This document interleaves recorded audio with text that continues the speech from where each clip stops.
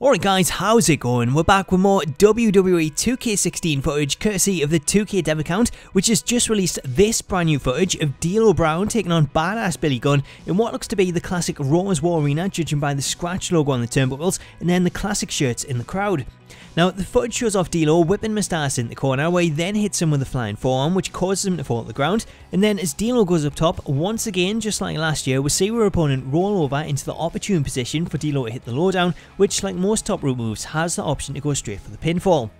Now, aside from the gameplay, it's worth pointing out Billy Gunn's attire, because I'm sure a lot of people will be questioning why he has dark hair, and that's because this model is from the 2001 Royal Rumble pay-per-view, which is something that we'll actually be playing through in the Austin Showcase, as the match seen Austin at number 27, Billy Gunn at 28, and then two more confirmed stars followed them with Haku at 29 and Rikishi at number 30, so for anyone surprised at Haku's inclusion, that's the reason that he's in the game.